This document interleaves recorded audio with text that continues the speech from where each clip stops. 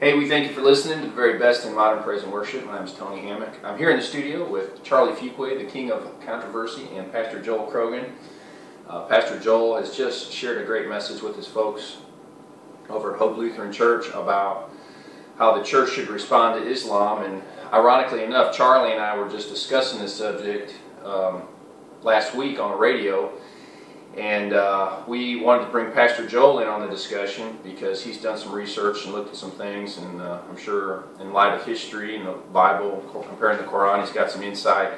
And so, Joel, we welcome you to the broadcast. It's good having you. Good to be here. And uh, we're gonna we're gonna go ahead and get started. Um, let's talk. Uh, you want to talk a little bit about the news? What's been going on in the news lately? I, I think we ought Hamas. to jump right. Oh, into Hamas. Yeah. Well, Yeah. obviously Hamas is is sending multiple missiles into Israel, and Israel, in an attempt to defend itself, has had to invade the Gaza Strip. yeah. And so there's a lot of controversy whether Israel should do what it's doing or not. But, uh, you know, history has shown that Islam and, and Hamas, are people in Hamas are Muslims, has always been aggressive in invading and militarily attacking and conquering other people. Right. And it's, I believe it's one of the most important issues we face today is what should the Christian response, or, or that of a Christian nation, if you can even call the United States a Christian nation anymore, Right. what should our response to Islam be? Now, you know, the response of Islam toward any other religion is clear. It's taught in the Quran that Islam should kill all followers of all other religions. And that's what they've been doing since the time of Muhammad. So they have no confusion as to how they should respond to other religions.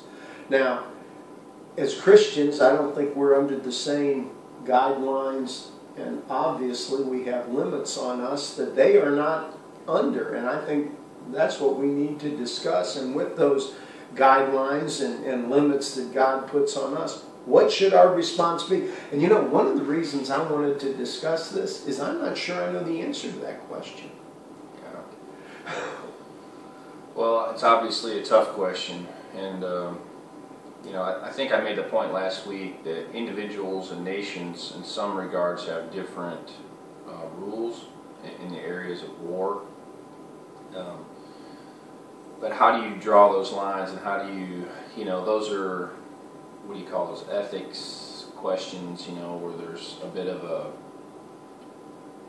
you know, you've got these moral dilemmas you've got to solve. Um, you know, we've got some men in our church that have fought in wars, and they've they've killed enemy soldiers, you know, in war, and uh, you know that's. I know the scripture says, "Thou shalt not murder." You know, the, the commandment is not to murder, to kill in war at wartime is is, in my understanding, a different. Uh, it's a different thing than murdering, you know, where you're just some kind of psychopath and you go off the beam and you kill somebody because they did something to you or whatever. But, you know, it's definitely a uh, an issue, and it, it would seem like there's a certain amount of uh, historical precedent for Islam running over politically correct cultures. You know, they come in, uh, they have a minority, they win hearts and minds. Uh, then they, when they get that majority, they just go military on you, and they conquer you, and they'll kill you. So, with that being in mind, you know, and the, in the doctrine of sacred deception and all these different ideas that are, you know, in Islam, we we should be very cautious. I mean, we've got to watch this. I, I was watching the. Uh, I don't know if he's the political spokesman or the military spokesman for the Israeli uh, Air Force, Air Defense, or Army, or whatever. But he said, "Hey, we've been here for 2,000 years, 3,000 years before Muslims even got here, and we'll be here after Hamas is gone. Yeah. And uh, this is our land, you know, and we will fight." You know, he was very uh, he was very non uh, politically correct in the, the language he chose. Of course, you know, Islam teaches that once Muslims conquer a land, that that's Muslim land forever. Right. And But just because they teach that doesn't mean that's Uh, so. that- yeah, well, but I mean, that's what they believe. That's what they Right. follow. Joel, in, in your message Sunday, you, you made um, a mention of what your human response was inclined to be, and then you talked about what you thought God's response should be. you, would you like to elaborate that on? No, but I will. Okay. I may get myself in trouble with this, but wouldn't be the first time.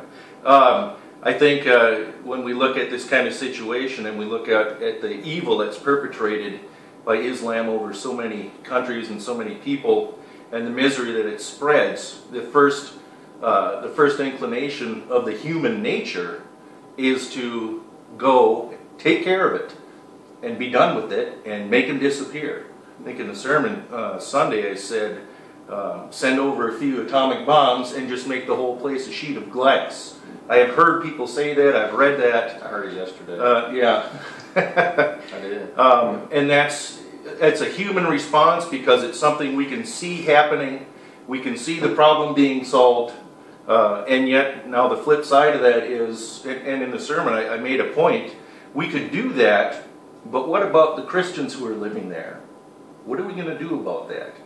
Um, and, that's where, you know, people of faith come into the picture. We, we think differently than let's just go kill them all and take care of everything we have to take into consideration what about the Christians who live there? What about the Muslims who, who now are unbelievers but may become believers later? Uh, that's what makes this whole issue so complicated um, because we, you know, we bring God into the picture, whereas you know, a lot of the, the secularists do not. They don't have to worry about things like that. Your sermon was based on the text of the, the wheat and the tares. Yeah, Matthew 13. And, and would you like to elaborate on that some? Well, Matthew 13, in this one, Jesus is painted as the sower of seed who, who planted a field out in the world. And then the devil is the sower of bad seed who came in and planted bad seed in the crop. Now, now would, would you agree that Islam is bad seed? Islam is bad seed. Okay. The- This is the devil's work in the world, we see very plainly. Uh, Martin Luther said the same thing uh, about that. He witnessed all of this too, just like we are today. He's familiar with it too. Uh, and so we see in, in Matthew 13 that, that reading says, uh, when the farm, when the good seed sower, his workers saw that the weeds were there, he, they asked him, should we go pull them up? And the, the sower said, no, let them both grow. And then in the end, when we harvest, we're going to take care of this problem.